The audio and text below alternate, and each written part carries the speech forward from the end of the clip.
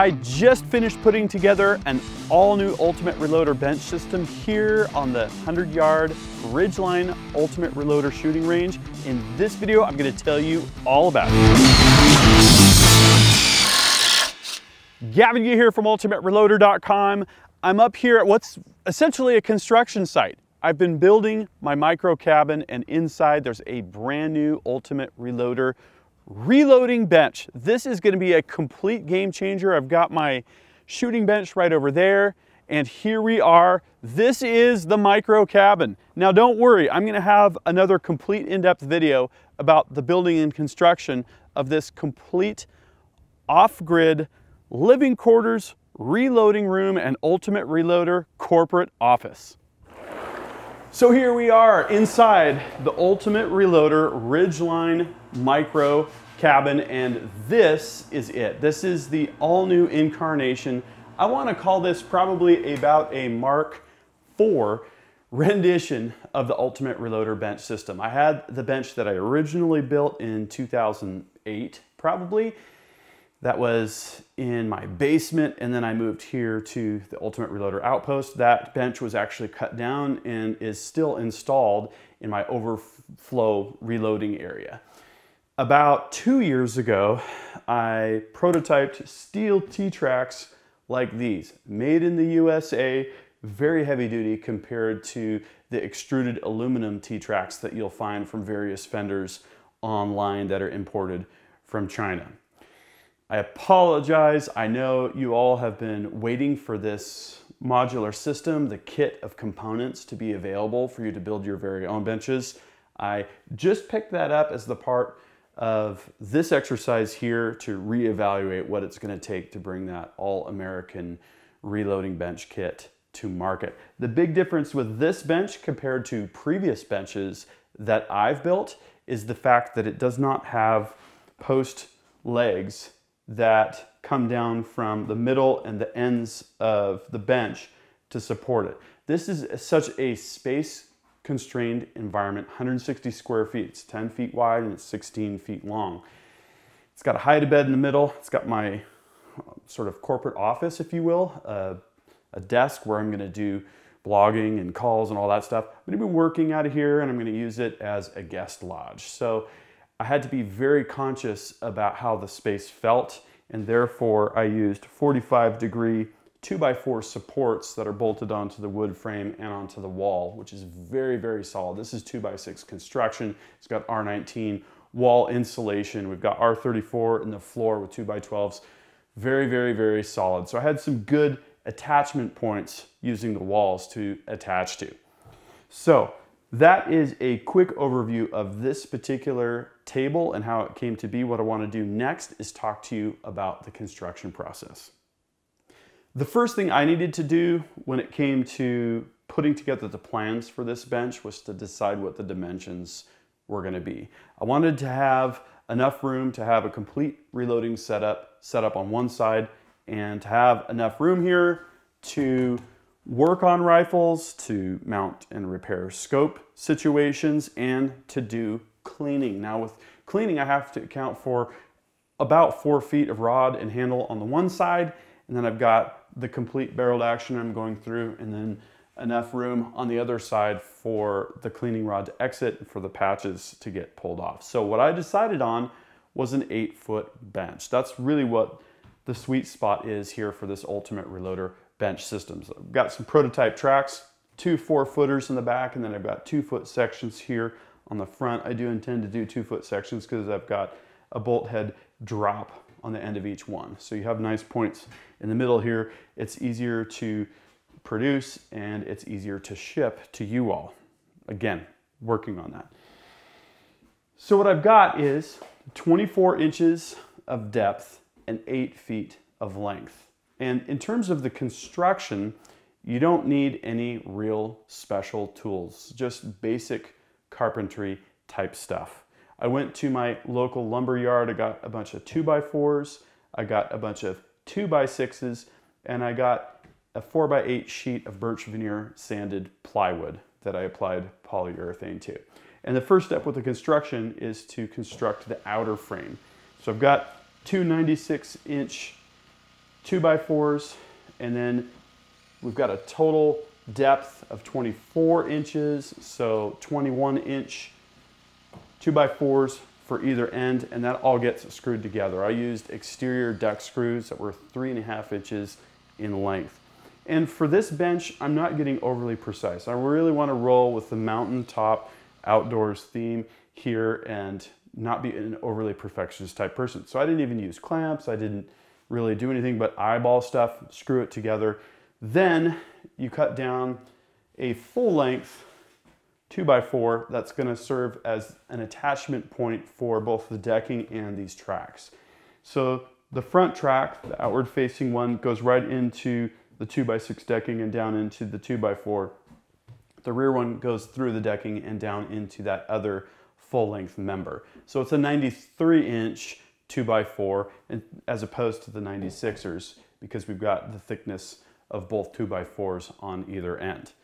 Then it's time to mount the frame to the wall. I've got one uh, transverse member here in the middle to kind of act as a stiffening point for the entire setup and to preserve the appropriate spacing with all of the 2x4s uh, prior to the decking going down. And here I've got 2x6s, I've got two, three, four of those that go back. You could use wider boards, but two by sixes will exhibit less cupping, which is really important because they're the substrate for the top, which is 3 quarter inch plywood. These are 3 quarter by 3 quarter steel tubes that have been cut with slots. They're countersunk and they've got these attachment points on the end. And the nice thing about that is when you lay the tracks down on your tabletop, you can pop three quarter inch plywood on, on either side and have a nice level surface. This is shown without the screw head covers. I've got wood strips that slide in and without the plugs that fill the slots.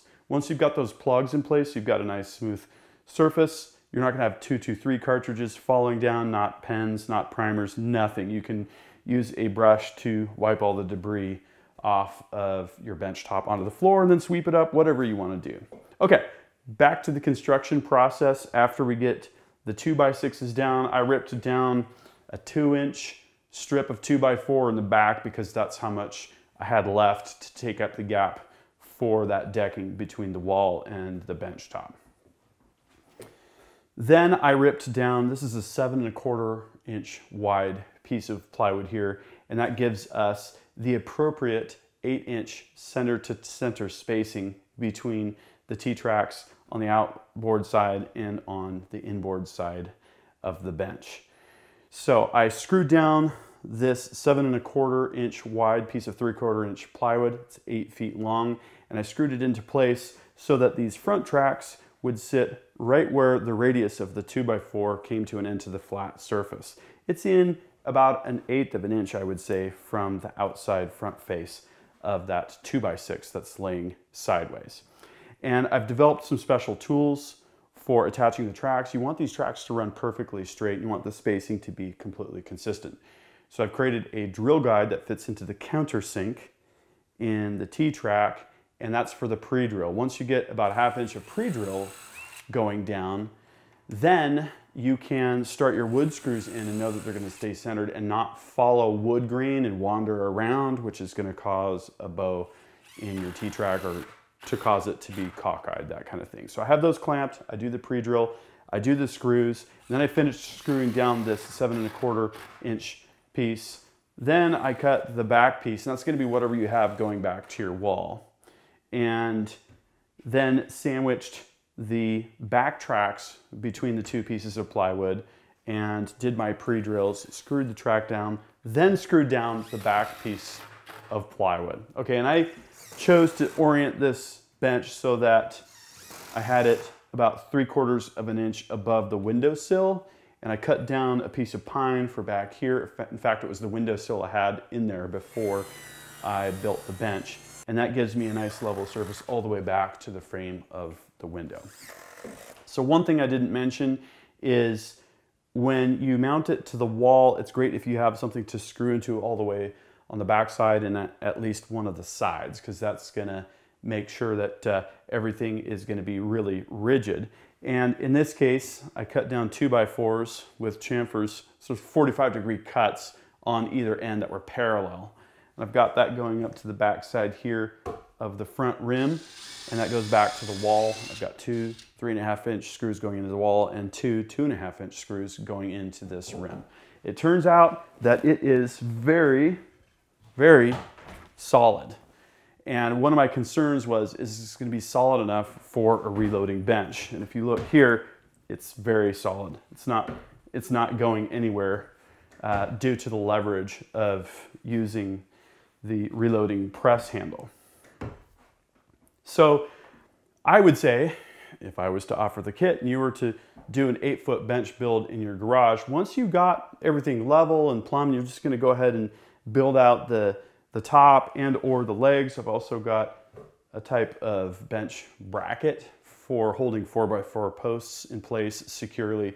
You know, it's gonna be essentially a couple hour build. And you're gonna have a bench that's gonna be completely modular. It's got steel T-tracks, it's got the screw head covers and the plugs. This is a really awesome system.